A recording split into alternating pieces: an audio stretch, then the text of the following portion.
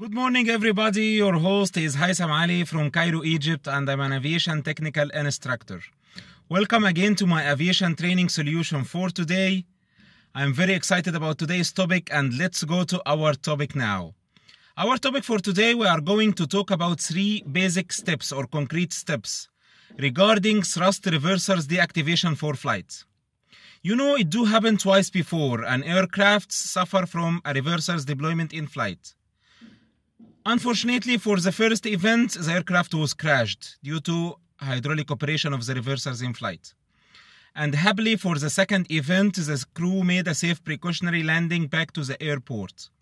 So let's go on to the three basic steps you need to take care about, and they are clearly identified in the aircraft maintenance manual if you will be in need to deactivate the thrust reversers for a safe flight. The first one, you need to assure about the reversers are hydraulically deactivated. The second step, you need to assure about the mechanically locking of the reversers in their C duct or their duct. The third and final step, you need to assure about the proper operation of the safety features or proper existence of the three safety features are there for the safe flight. So let's clearly identify these three basic steps.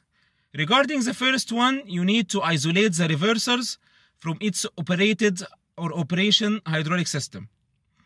So for every engine, there is what it called the hydraulic control unit, which is the interface between the hydraulic system and the thrust reversers actuators.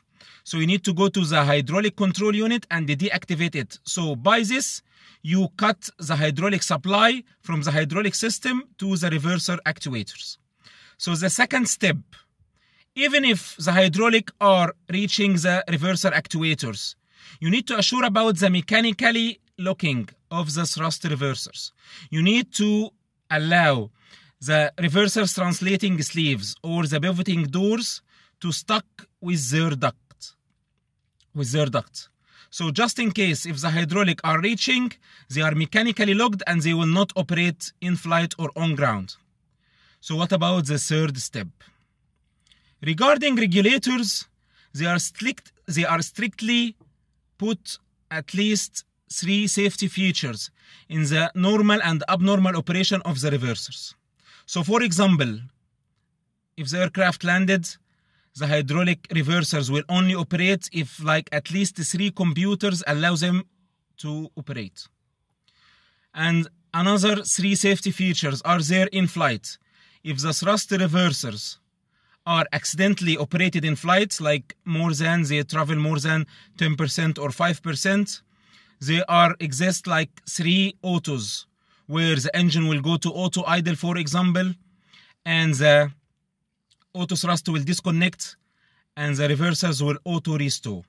So you need to assure before a deactivated flight that, that the three safety features are exist and they are available if the thrust reversers accidentally operated in flight.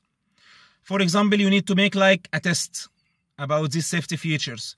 You need to assure that their, uh, the reversers transducers, which are the electronic components that do give the engine computer the movement regarding the reversers are in operation. So you need to assure about the safety features after a proper thrust reverser deactivation process. Again, three basic steps or three concrete steps for a proper thrust reversers deactivation. The first one, hydraulic deactivation. The second one, mechanical locking. The third one, proper operation of the safety features. Finally, this training session is for training purposes only. It shall not supersede any official document like aircraft maintenance manual, flight crew operating manual, and the minimum equipment list. So, maintenance stuff. Please advise always your AMM before working on the aircraft, especially in such a task like thrust reversers deactivation for flight. Thank you for your good listening and have a great weekend, everybody.